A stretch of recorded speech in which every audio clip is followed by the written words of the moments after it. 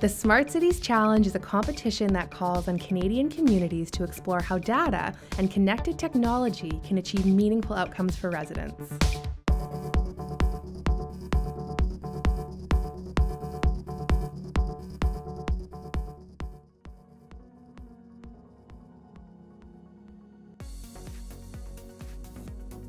Um, Yellowknife is a commercial hub in the Northwest Territories. We're a population of about 20,000.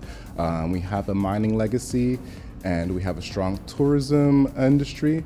Uh, it's a small knit community, beautiful landscapes, and we're trying to promote our tourism and also promote our community engagement through this project of the Smart City Lamppost.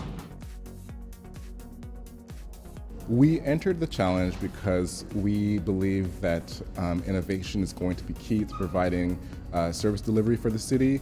It's also a opportunity to solidify partners that we've been working with for the long run, but to have a concrete project to work on um, that has many benefits for all, uh, we just thought it was a great moment to jump on this.